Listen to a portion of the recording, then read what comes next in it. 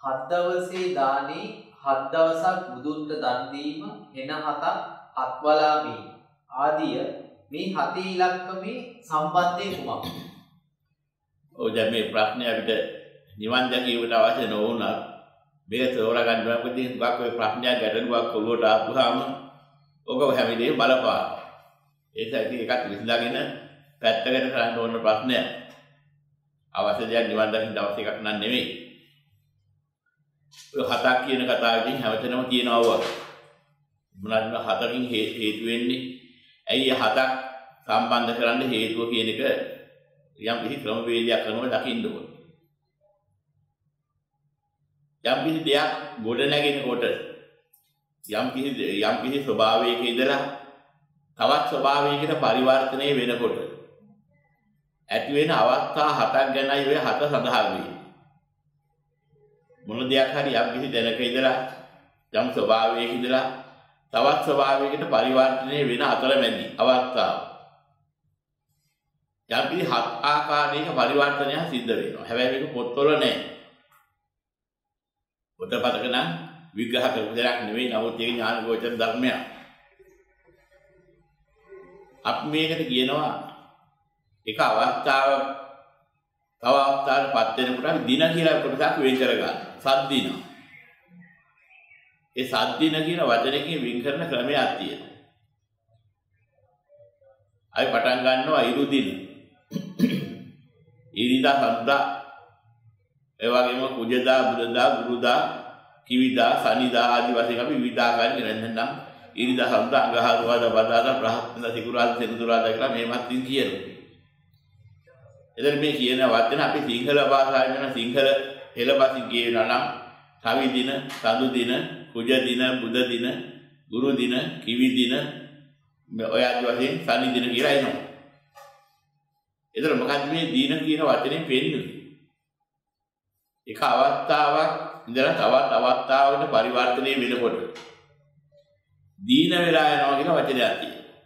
දීන වෙලා කියලා කියන්නේ යම් කිසි අවස්ථාවක තිබෙන ඒ අවස්ථාව ගෙවිලා යනවා. දීන වෙනවා. ওই දීන වෙනවා කියන එක තමයි දින කියන වචනයත් හැදිලා තියෙන්නේ. දැන් හෙන හතක් වැදුනා කියලා කියන්නේ ඉවරටම ඉවරයි කියන්නේ. යම් කිසි තිබුණ තත්වයක ඉඳලා ඒ තත්වයේ සහවලින් විනාශ වෙලා යනකොට. ඇති වෙන ස්වභාවයක් තමයි ඒ දීන හතක් යන්නේ. විනාශයටපත් වෙනව නම් එක ගීක හෙන හතක් කියලාත් කියනවා. එතකොට ඒ වගේම යම් කිසි ඔය මොනවා හරි සතක සම්බන්ධ බොහොම තියෙනවා. යම් කිසි අවබෝධයක් ලබා ගැනීමට පූර්ණ වෙන්න එක පැත්තක් පූර්ණ වෙනකොට ඒකේ විරුද්ධ පැත්ත ගෙවිලා යන්න ඕනේ. එක පැත්තක් පූර්ණ වෙනවා එක පැත්තක් ගෙවිලා යනවා. ඒත් එක ක්‍රමයක්. දැන් තේරුම් ගන්න මෙහෙම දෙයක් තියෙනවා. යම් කිසි කෙනෙක් මලහම දින 7කින් දානයක් දෙනවා. හත් දවසේ දාන කියලා අපි ඒක ලක් තියෙනවා. දැන් ඒක තෝරාගත්තාම ඔක දැනගන්න පුළුවන් හොඳ ක්‍රමයක්. මොකද මේ දින හතේ ස්වභාවය කියන්නේ. දැන් මේක හැබැයි උපදින මැරිච්ච ගවම්ම කොහේ හරි පරිසද්ධියක් වෙනවා කියන අදහස ගත්තොත් මේ අදහස ගලපන්න බෑ. චුතියට අමතරව ඒ මේ ඒ මොහොතේ පරිසද්ධිය වෙනවා කියලා. මැරෙන ජන චුතිය මව කුසේ එකයි පරිසන්දිය කියලා වර්ධාර ගත්තොත් ඒක තෝරා ගන්න බැහැ. හැබැයි එහෙම තේරුමක් අරන් තියෙන්නේ ආචාර්යවාදයක් මිසක් මූලික බුදුදහම නන් නෙමෙයි. බුද්ධහම තුන හොඳට පැහැදිලිව විග්‍රහ කරලා පෙන්නලා තියෙනවා. කෙනෙක් මැරිච්ච ගමන්ම ඒ මැරිච්ච පුද්ගලයා ඒ මොහොතේම කොහොම බඩක පරිසන්දියක් ලබනවා කියන වචනයක් හා සම්බන්ධයක් නැති ක්‍රමවේදයක් පෙන්නලා තියෙනවා. බඩට යන්නේ ඔක්කාන්ති කියන අවස්ථාව. පටිසන්ධි කියන අවස්ථාව වෙන්නේ මරණාසන්න චිත්ත වීදියේ චිත්තක්ෂණ දෙකක් අතර තියෙන ස්වභාවය. මේක මේ ඉස්සරහ ගක් විග්‍රහ කරලා තියෙනවා. ගැඹුරු ප්‍රශ්නයක් ඔය ඇහුවේදී ඒක ඉතරත් අපිට ගැඹුරට ඉතර ඉගෙන හොයන්න දෙයක් නැහැ. කෙනෙක් මලක මැරිච්චහම එයා හිතමු තත්වේ දැන් මේ මිනිස් කයකින් ඉඳලා මේ මිනිස් කයකින් වැඩ කරන්න පුරුදු වෙලා හිටියා. කියන හැටි කරන හැටි කටයුතු කරගන්න හැටි පැවැත්ම ගෙනියන හැටි මේ මිනිස් කයක ආධාරයෙන් මස්ලේ කයක ආධාරයෙන් තමයි කරගෙන හිටියේ. හැබැයි මස්ලේ කය විතරක් නෙමෙයි සත්වයකට තියෙන්නේ. ඒකජ කය, ද්විජ කය, ත්‍රිජ කය, චතුජ කය කියලා. මේ කය හතරක සම්පින්දනයක් තමයි අපි මේ මස්ලේ කයත් එක්ක සජීවී මල් නැත්නම් සප්‍රාණ සජීවීව ඉන්න සවිඥානික කය කියන්නේ. මේකෙම අහුවෙන්න අතර අහුවෙන්න තියෙන මස්ලේ සහිතව තියෙන තමයි කරජ කාය කියලා නැත්නම් කිව්වේ ওই චතුජ කාය කියන එකට කිව්වේ. ඒකජ කාය කියලා කියන්නේ කර්මජ කාය. කර්මයෙන් ජනිත වෙන කාය. පරිසන්දී මොහොතකදී හටගන්න කයේ හැටි ඔය කිව්වේ. ඒ ඇහිපිය ගන්න මොහොතක් යන ඉතලා ඒකජ කාය ද්විජ කාය වෙනවා. ඒ කියන්නේ කර්මයෙන් හටගත්ත කර්ම කර්මජ රූප ඒ මොහොතේ පටන් පරිවර්තනය වෙන්න පටන් ගන්නවා. ඍතු පරිවර්තනයටපත් වෙනවා. ඒතකොට උතුජ කියනවත් එන්න පස්සේ ඍතුවෙන් ජනිත වෙන්නා රූප හට ගන්නවා. අර කර්මජ රූපات එක්ක සම්බන්ධ වෙනවා. මේ කර්මජ රූපයි උතුජ රූපයි දෙකම ආපුවාම කියනවා ද්විජකය. ඒකත් බොහොම සියුම් කය. ඇහි පිය ගහන මොහොතකට ඒකත් හැදිලා ඉවරයි. ඊළඟ චිත්ත හට ගන්න මොහොතක් එනවා. ඒ හට ගන්නකොට කියනවා තිජක චිත්තද රූප හට ගන්න. කර්මජ රූපයි, උතුද රූපයි, චිත්තජ රූපයි තුනෙන් හටගත්ත කයක් තියෙනවා තිජ කය කියන. ওই ද්විජ කය කියන එක අති සූක්ෂම කර්මජ කයක්. ඒක තියෙන්නේ මරණාසන්න මොහොතේ ඒකජ කය පටිසද්ධි ලැබෙන මොහොතේ හට ගන්නවා. ඒක ද්විජ කය හටගත්තාම කර්මජ සහ උතුද රූප මිස චිත්තජ රූප නැති කයක් තියෙන සත්ත්ව කොටසක් ඉන්නවා. ඒ සත්ත්ව කොටසේ ඉන්නේ අසඤ්ඤ සත්ත්වය. ලෞතර බුදු පියාණන් වහන්සේටයි ගෝචර. ද්විජකායික සත්‍යය. හිත ක්‍රියාත්මක වෙන්නේ නැහැ ගත ක්‍රියා ගත කර්ම ශක්තියත් එක්ක ක්‍රියාත්මක වෙනවා. කර්ම ශක්තියෙන් ගත හැදෙනවා. අති සූක්ෂම කය. චිත්තයත් එක්ක සම්බන්ධලා ආහාර ගන්න නැතුව මේ භෞතික ආහාරයක් සූක්ෂම ආහාරයක් නොගන්න. තවත් කොටසක් ඉන්නවා. ඒ තමයි බ්‍රහ්ම කියන කොටස. ඒ කියන්නේ රූපාවචර බ්‍රහ්ම. ඊයට කර්ම ඍතු චිත්ත කියන්නේ. මෙන්න මේ කාය තුනේ සම්පීඩනයේ තියෙන ත්‍රිජ කායිකයි. ඒ බ්‍රහ්මය ත්‍රිජ කායිකයි. ඊළඟ මේ කාම ලෝකේ ඉන්න අය සූක්ෂම කයක් ලබනවා ඒ ත්‍රිජ කායික කය. මේ ලෝකේ තියෙනා යම් කිසි ගන්ධයක් ඌරාගෙන. ඒ සමග සූක්ෂම සතරවෙනි කයේ මූල අවස්ථාව ලබනවා. සූක්ෂම කබලිකාර ආහාරය සම්බන්ධ වෙනවා. එතකොට චතුජ කය හට ගන්නවා. කලජ කයේ සූක්ෂම අවස්ථාව. මෙන්න මේ කියන්නා වූ කය හටගන්නේ. අපි ගන්ධබ්බේ කියලා කියන්නේ ඔන්න ඔය. ඔන්න ගන්ධබ්බය තමයි බඩකට ඔක්කාන්ති වශයෙන් යන්නේ කොයි එළියහ. ගන්ධබ්බා අවක්කාන්ති හොන්ති කියලා පෙන්නනවා. ගන්ධබ්බේ ඔක්කාන්තියට යනවා කියලා ගබ. ගන්ධබ්බය හැදෙන්නේ ඔන්න ඔය සූක්ෂම චතුජ කයයි. ඊ කෙනෙක් මරාට පස්සේ අහිපිය ගහන්න ඔබ සිද්ධ වෙලා ඉවරයි. හරි ඉක්මනට සිද්ධ වෙනවා. අන්නේම සිද්ධ වුණාට පස්සේ ඔය තිරෝ පුඩ්ඩේසු සිට්ටේසු ආගන්තුවා සකං ගරන් එහෙම කියලා තිරෝ පුඩ්ඩ සූත්‍රයේ පෙන්නන්නේ. ඒ බිත්ති හතරින් ඔය වගේම යම් යම් මේ දොර ජනෙල වහලා තිබුණත් ඔය අතරේ යන්න ඉන්න පුළුවන්. මෙහෙම සූක්ෂම හයක් තියෙන. ඔය මැරිච්ච එක නෑ ඇවිදිනා තමන්ගේ ගෙදෙට්ට එනවා කියලා හිතන් ගියා තියෙනවා හොඳට පැහැදිලි. ඔය උත්‍රේ විග්‍රහ ඇදිලා අබු පිල් වල දර මැහි වල ඔය තැන් වල ඉන්නවා සෙරිසරනවා කිය. ඔක්කොම නෙමෙයි. ඒක කොටසක් එහෙම එනවා. නමුත් එහෙම නොවන තව කොටස් ඒ මෙහි අනායත් ඉන්නවා. අර බුදුරජාණන් වහන්සේ පෙන්නනවා චතුූපපාත ඥානයේ ලෝබන්න වෙලාවේදී දැකපු ආකාරය උපමාවකි. සතරමන් සංධියක උඩු මහත් කලයකටලා හන්දිය දිහා බලනකොට කඩවලට ඇතුල් වෙලා ඉන්න මිනිස්සු කඩවලින් පිට වෙන අය මග සැරිසරන අය යලි කඩේකට ඇතුල් වෙන අය එතනින් පිට වෙන අය නැවත පාර සැරිසරන අය දකින්නේ කොහොමද? මෙන්න මේ විදිහට මේ චුත වෙන උපදින සත්තු දැක්කා කියලා. මේ ගේ කියලා උපමා කළේ කඩවල් කියලා උපමා කළේ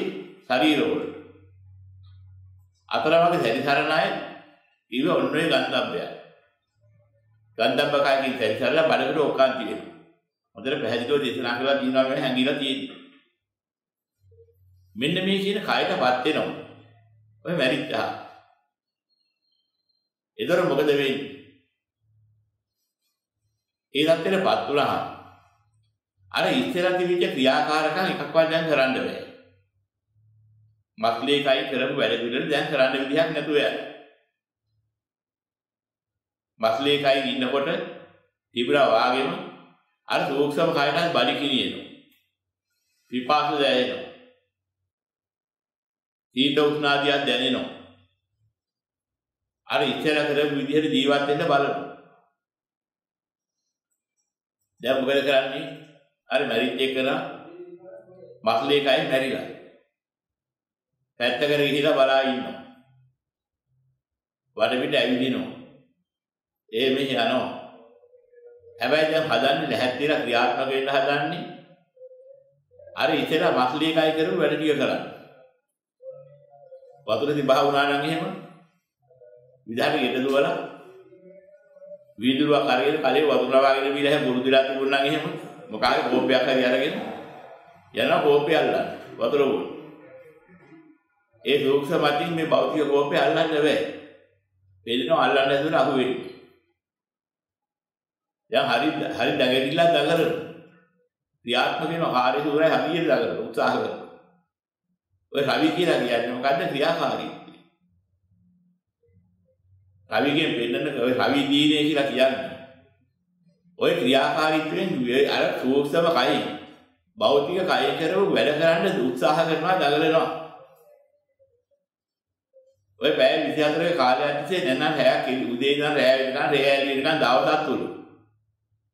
ওই දවසේ කරපු වැඩ කටයුතු කරන්න දඟලන උත්සාහ කරනවා. ලොකු අසහනයකටපත් වෙලා. මොකද මට මේ වුනේ? ඇයි මට මේ බත් කන්නත් බැරි, අල්ල ගන්නත් බැරි, වතුර බොන්නත් බැරි මොනවත් අහුවෙන්නේ නැත්තේ මොකද? මේ කතා කරන අනිකයි කතා කරන්නේ නැත්තේ ඇයි? මෙන්න මෙහෙම මහා ගැඹුරු දැනක් ඔය. මෙන්න මෙහෙම අවස්ථාවක් කියලා.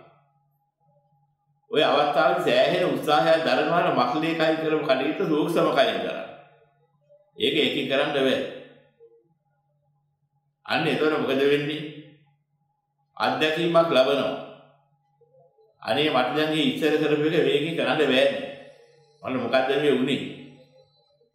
මේ එක්තරා සංවේගයකටපත් වෙලා. ওই විදිහට දාගන්නවා දවසක්. ඊට පස්සේ දැන් අත්දැකීමක් ලබනවා. ඒ ඉස්සරහ හිටව කය කරපුවා නම් දැන් මට කරන්න බෑ. ඕම හරි. අන්න ක්‍රියාකාරීත්වය ඊන වෙලා දීන වෙලා ගියා. ඒක ගෙවිලා යනවා. දැන් ආයි ළඟලන්නේ නැහැ ඒක.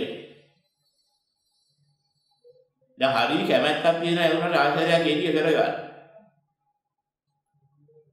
ඒ කැමැත්තෙන් බොහෝම උත්සාහ කරනවා. ඔච්චර කැමතුණා කරන්න දෙයක් නැහැ. කැමැති කැමැති ආපාසේ යන්න බලන්න. එකක්වත් මේ පස්ලේ එකයි කරපු කැමැති වැඩ කරන්න බෑ. ඒක නම් අවසන් ගත වෙනවා. ඒකත් බැරි බව දැනගන්න. දැන් මේ බලාපොරොත්තුවක් දීන වෙලාව. සතු පෙන්නන්නේ ඔන්නේ හිතේ තියෙන ස්වභාවය. සතු පෙන්න උමා කරලා තියෙන්නේ හිතවිලි වල. හැඟීම් වලට.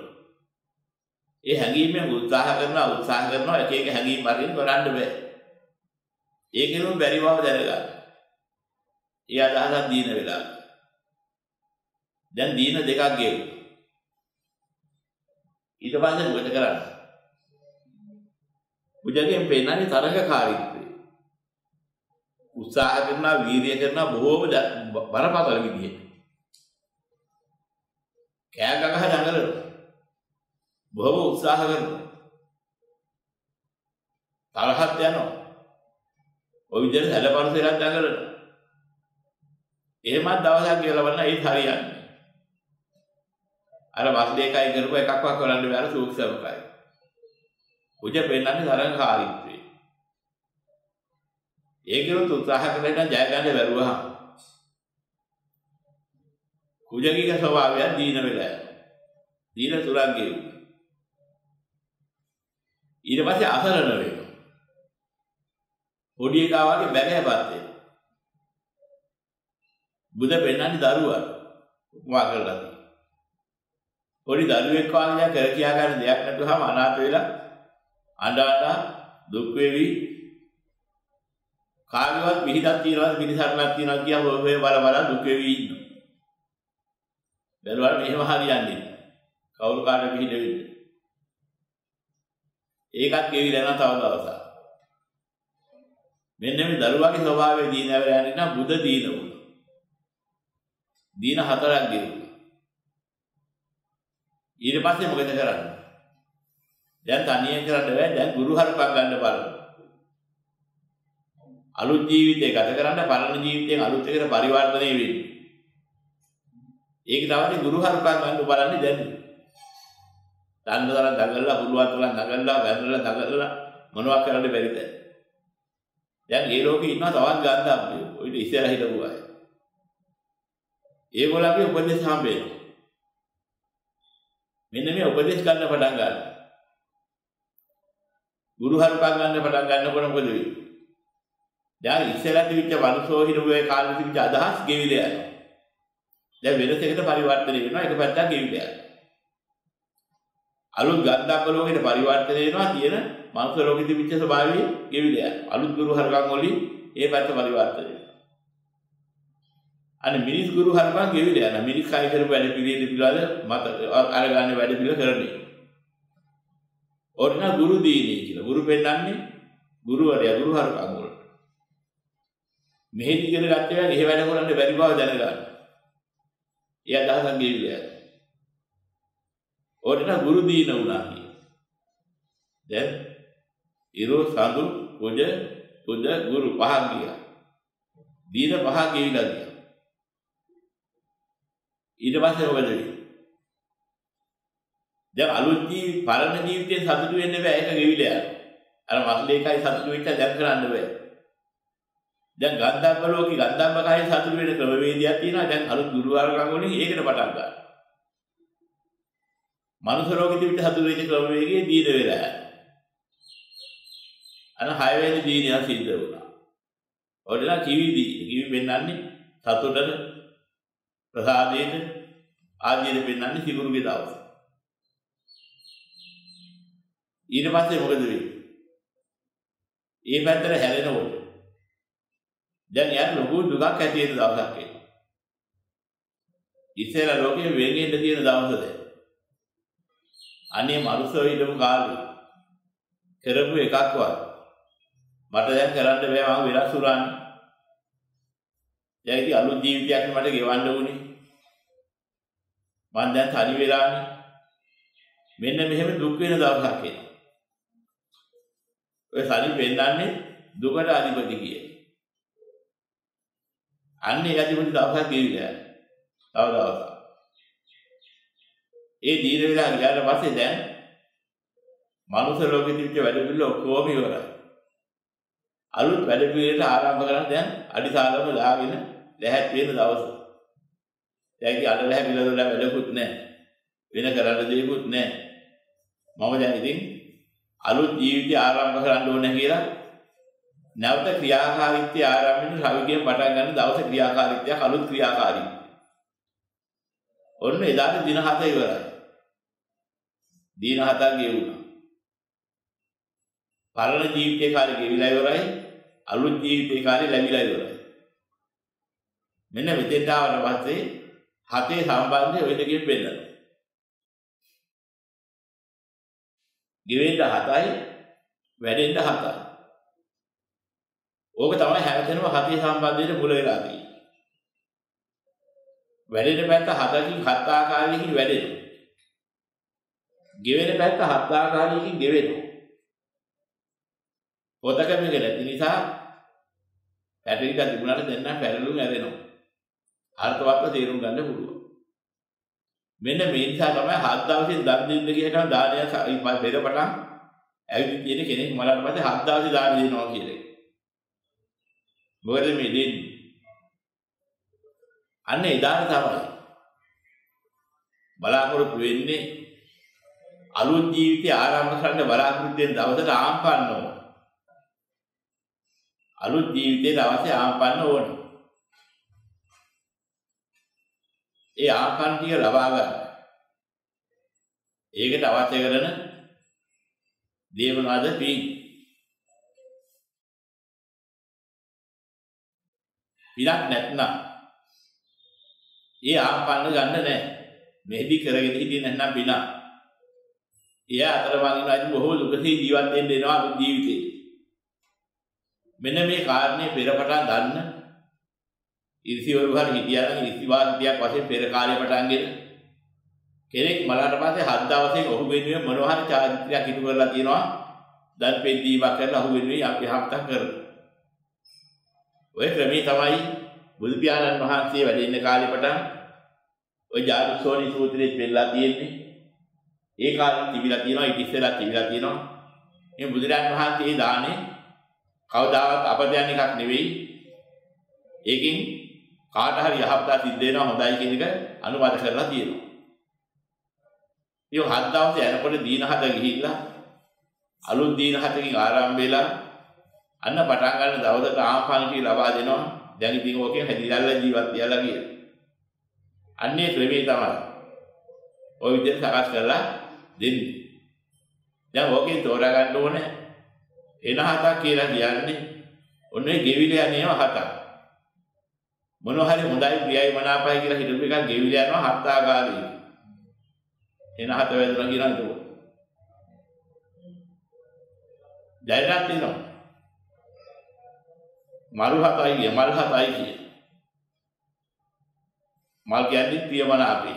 ප්‍රියමනාප හැතර හත් ආකාරයෙන් වැඩුණාම එතන හතක් එනවා. හතක් හැදෙන හැටි.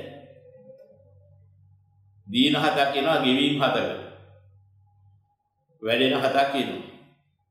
බොජ්ජංගල හතක් එනවා.